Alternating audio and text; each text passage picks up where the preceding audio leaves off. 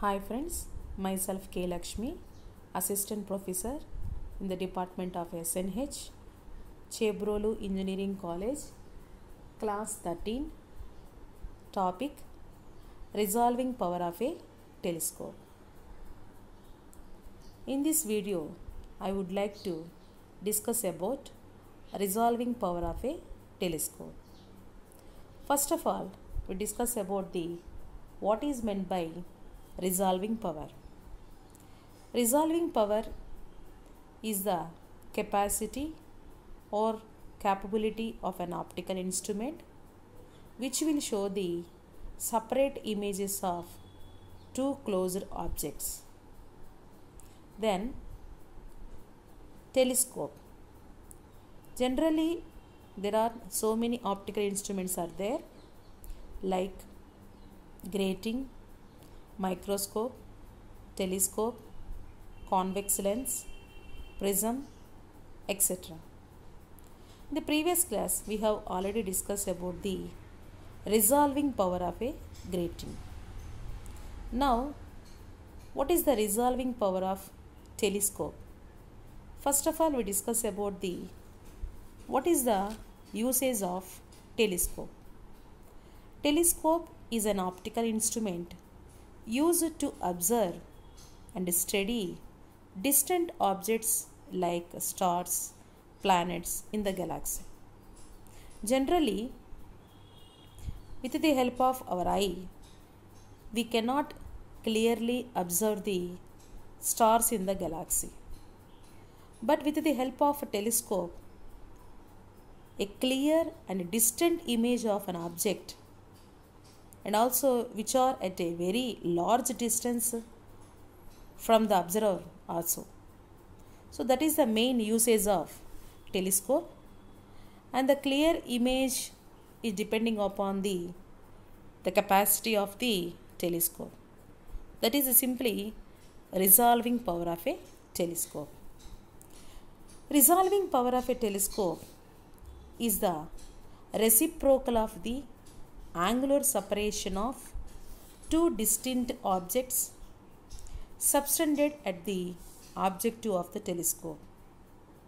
Such that their images will be a just resolve case whatever we have to discuss in the Rayleigh's criterion for resolution. And also it depends upon the the angle the two point objects subtended at the objective the resolving power of the telescope can be also defined as uh, the inverse of the smallest angle subtended at the object by two nearby distant objects whose images are just resolved. Or in other words, it can be also defined as simply the reciprocal of limit of resolution is known as the geometrical resolving power of a telescope. Here, let us consider A be the diameter of the object of the telescope. Consider light rays from the two neighboring points of the distant object or the image of each point object gives a Fraunhofer diffraction pattern.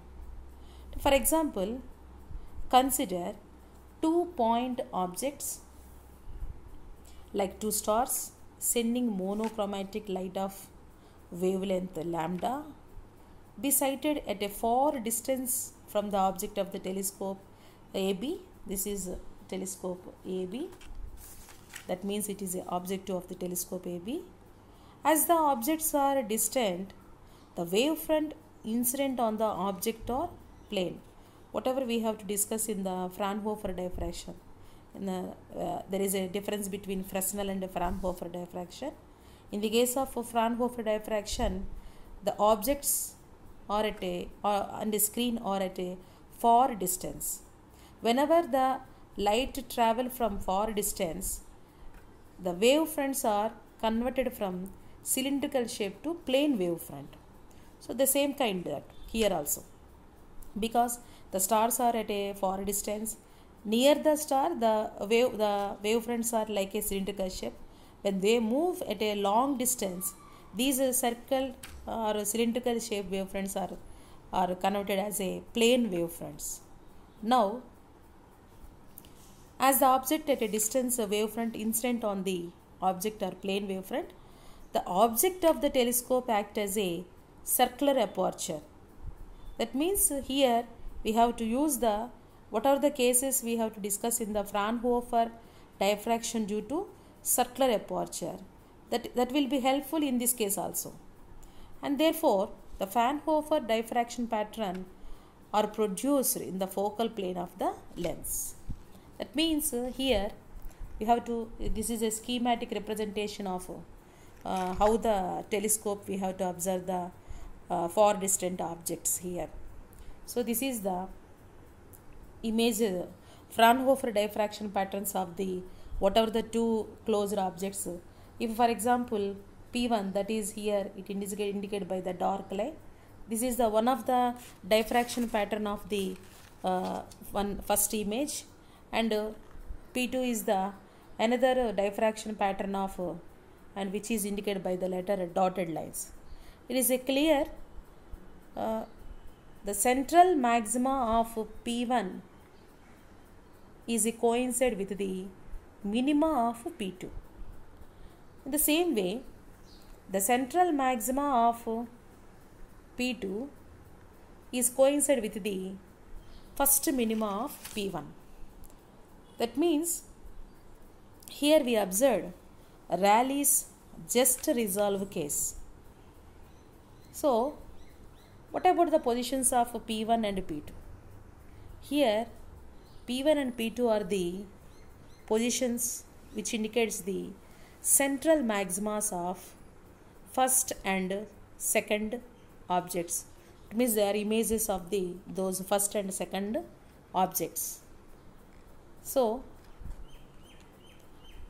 these two images are said to be resolved if the position of the central maxima of the second image coincides with the first minima of the first image and vice versa.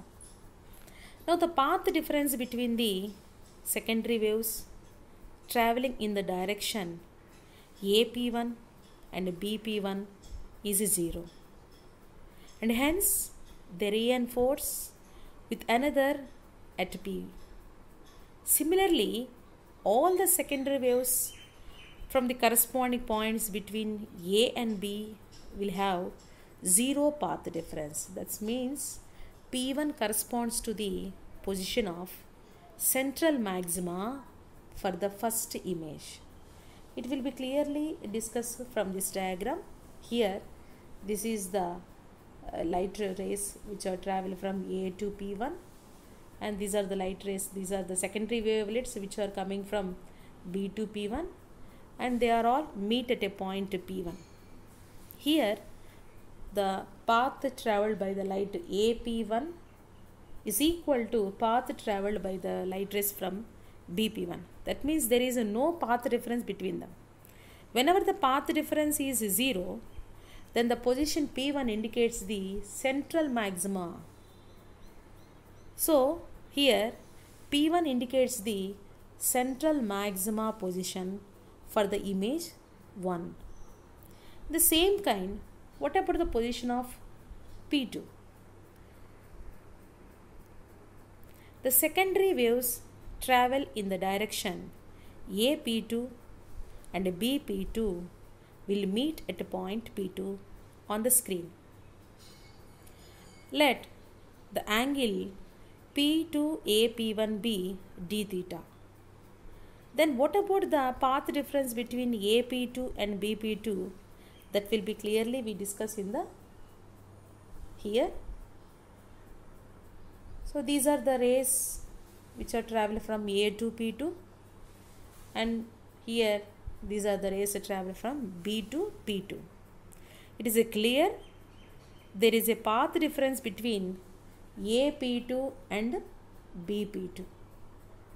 That means to find the path difference here we have to draw a perpendicular AC. That means here C is a right angle triangle, I mean 90 degrees angle.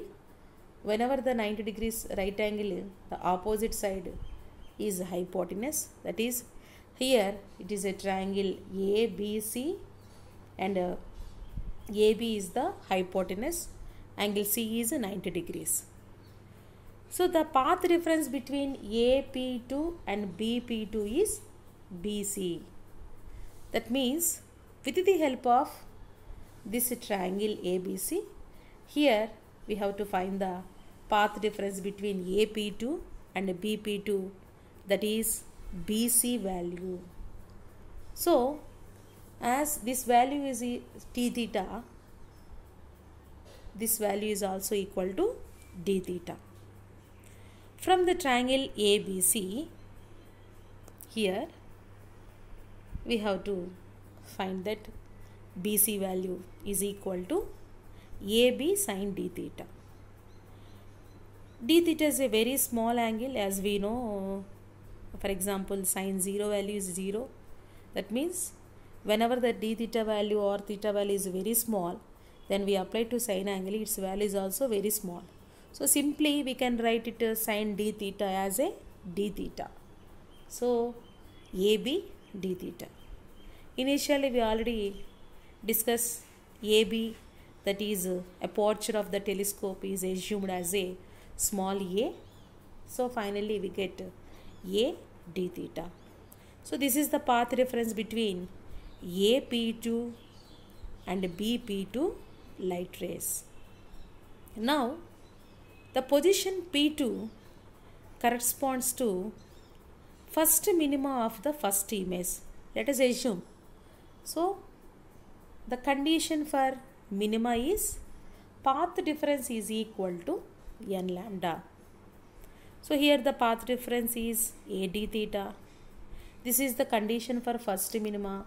So n value is taken as a 1. So A d theta is equal to lambda. Here very very important point is at the same position P2 there exists position of central maxima of the second image. That means here we have to observe a case which is defined by Rayleigh's just resolve case. That means here the just resolve case is satisfied. So whenever the Rayleigh's condition of resolution is satisfied, if a d theta is equal to lambda, d theta is equal to lambda by a. Now the whole aperture AB is divided into two half with the help of an O, then it becomes to AO and OB. Now the path difference between the secondary waves from the corresponding points also half that will be equal to half of the wavelength that is lambda by 2. Now the all three secondary waves destructively interfere with one another hence P2 gives the first minima of the first image. Now the equation is also satisfied in the case of rectangular aperture also. Here for circular aperture whatever we have to discuss in the Fraunhofer diffraction due to circular aperture this equation which is developed by the scientist Airy it can be uh, written as d theta is equal to 1 plus 2 to lambda by a. Here, why? Here we have to write 1.22 that means to correct the or to refine the exact value of d theta. Here the lambda is wavelength of the light and a is aperture of the telescope objective. The aperture is equal to the diameter of the metal ring which the object lens is mounted. Here it reversed to be limit of resolution of the telescope. The reciprocal of d theta measures the resolving power of telescope that is the definition of the resolving power of the telescope simply here we have to finally find the formula for d theta by simply reciprocal. That means 1 by d theta. So 1 by d theta is equal to a by 1.22 lambda. Here d theta is the angle subtended by the two distinct objects at the object and the, this equation gives the clear the telescope with large diameter of the objective has higher resolving power. So the definition of resolving power of a telescope is also defined as the reciprocal of angular separation that two distinct object points must have so that their images will appear just resolved according to Rayleigh's criterion. Here again we have to use the formula whatever we have to derive in the case of Fraunhofer diffraction due to circular aperture. That is by considering a lens in the case of circular aperture either move near to aperture or near to screen. By that assumption, by taking a formula d theta is equal to r by f in that case, the same formula we have to here also used because as the objective of the telescope, objective lens of the telescope is in the shape of circular aperture. So the same condition here also we used that means uh, d theta is equal to r by f. Already in the previous we have to derive the formula for d theta is 1.22 lambda by a. By comparing both formulas small r is equal to 1.22 f lambda by a. Here the f is the focal length of the telescope objective and r is the radius of the central bright image. As we already discussed in the circular aperture case in that case consisting of middle center bright spot or bright disk that is Airy disk is surrounded by a dark and bright Airy rings the same way the diameter of the first dark ring is equal to the diameter of the central image. So, the central bright disk is the Airy disk. Thus, this equation is the focal length of the objective is small and the wavelength is small and the aperture is large then the radius of the central bright disk is small. Now the diffraction pattern will be clear and sharper. That means the angular separation between the two just resolved point objects will be smaller. Automatically corresponding resolving power of the telescope will be large. This is the brief explanation about the resolving power of a telescope. Thank you.